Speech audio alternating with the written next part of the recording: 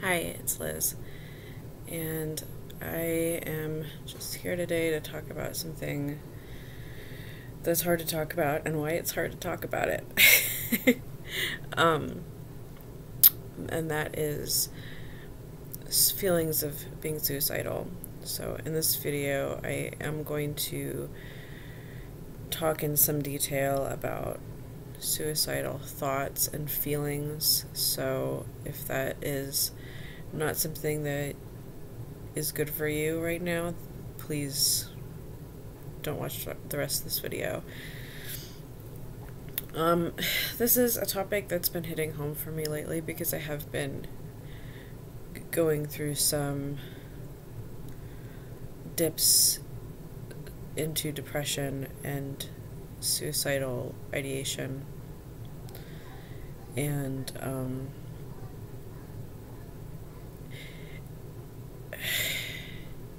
it's I've learned a lot in the last few years about this because before that, you know, I had had some serious depressions. I had two serious depressions and definitely some suicidal ideation and an attempt when I was young.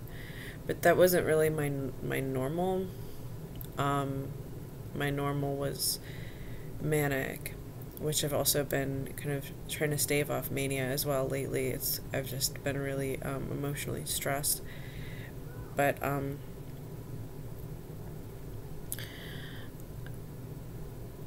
what's my point? Sorry, I'm a little bit drugged up because I'm trying to keep myself functional. Um, yeah, so I've learned a lot about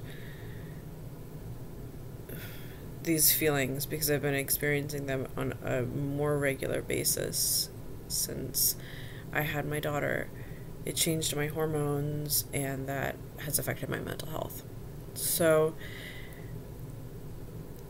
one thing that has really kind of surprised me because it's so different from mania is just how hard it is to reach out when you start getting into a, a, place of serious depression. And for me, that always comes with some level of suicidal ideation.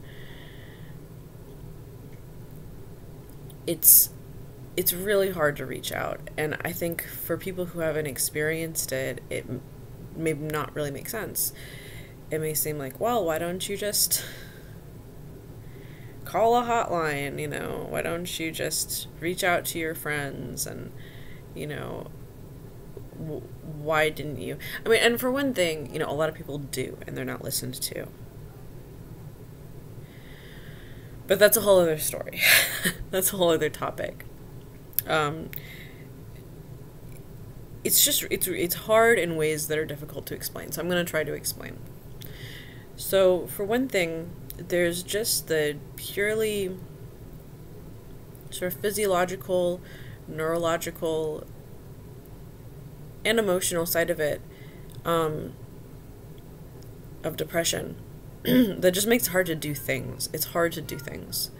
You know, your physical body may be able to, your mouth might be able to say the words, but you know your brain is really in charge of everything you do. And when your brain is not working well and moving really slowly you, you really can't do things. You know if your brain is blocking you from doing something you really can't do it um, and it you know makes sense I think when you put it that way but a lot of times people think well just think about it differently or you know just have a different attitude but it doesn't work like that because there's something physiological going on in your brain when you're depressed like that that makes it difficult or even impossible to do certain things. So there's that. There's also these deep feelings of being worthless and I think many of us who are in a depression, we deeply do not want to bother other people. We're very conscious of the fact that we might be seen as manipulative, that we might be seen as dramatic, and we might, on a certain level, also feel like we're being overly dramatic if we actually express what we've been feeling, which seems weird, right? I'm gonna try to explain this because it, it is weird, um, because there's this there's this dual thing where on the one hand, like you might be having these thoughts that are very disturbing. You know, you're having these very detailed thoughts about, you know, how you're to commit suicide, um, what you're going to use, where you're going to go, when you're going to do it. You know, you want to make sure the kids aren't home. You know, you want to make sure, whatever, you know, how are, what are you going to do with your things, you know? Um, you, you start thinking about this stuff seriously and planning it all out. But uh, but at the same time, there's part of you that's kind of, at least for me, there's part there's there's part of you that's kind of mocking it. Like, you're not really gonna do this. You're just being ridiculous. You know.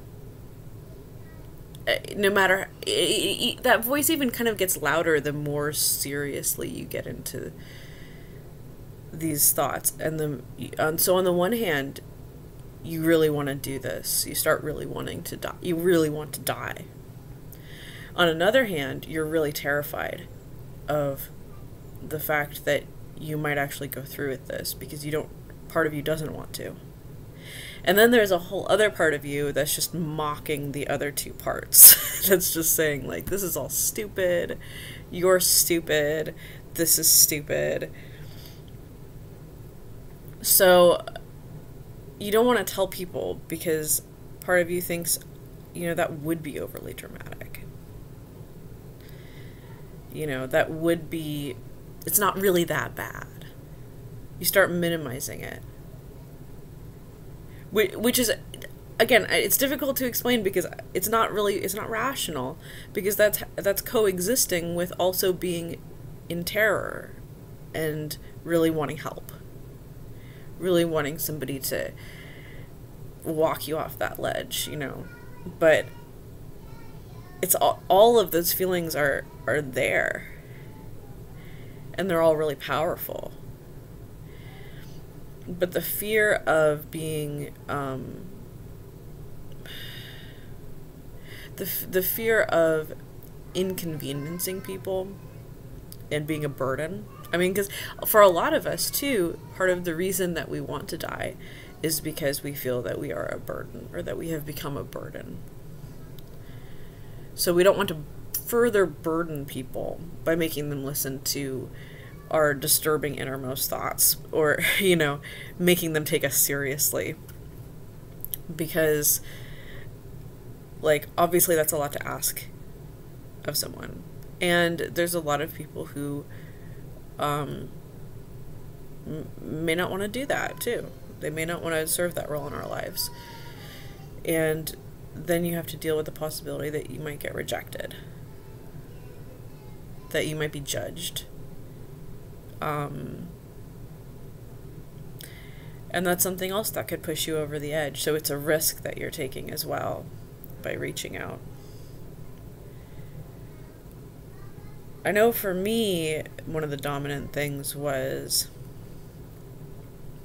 and I'm thinking of one particular episode that I had about a year ago. Um, and it was a period of time where, you know, I had family around me and there were people who wanted to help, but they didn't actually understand that I was depressed because I didn't tell anybody. Um, I think they were getting frustrated with me because, you know, when you're depressed, you're not really functioning as well. So I think they thought that I was, I don't know what, being lazy or something. And I didn't want to tell anyone I was very deeply depressed and very um, seriously contemplating suicide at that point. Because um, I was ashamed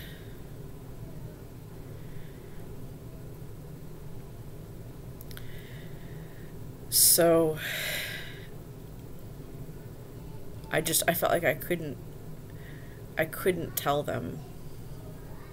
And part of it's difficult to even put into words because it's not like a specific, there isn't a name that I can think of for this feeling, but I guess it's related to being dissociated and detached, um, which goes along with depression for me. Uh, I just feel like everyone's really far away, and trying to reach out to somebody would be like screaming over a chasm. I don't I it's like I don't know how to reach anybody. Everybody feels a million miles away. And it, it seems like no matter what I do, I'm going to be all alone. And that's sort of a further blockage to reaching out. So yeah, I don't know if this even really sums it up. My computer is running out of memory though, so I have to stop recording this video. But um, if you uh, have experienced these kinds of things and you have a different perspective, please let me know. I'd love to hear it. And um, for those of you who haven't experienced suicidal ideation, please try to keep this in mind. Um, and if somebody reaches out to you, please recognize their bravery for doing so. They may not be able to take the compliment, but but recognize that they really um, took a huge step and took a huge risk in in talking to you about it. Um, you know, if if there's somebody who suffers from depression. Okay.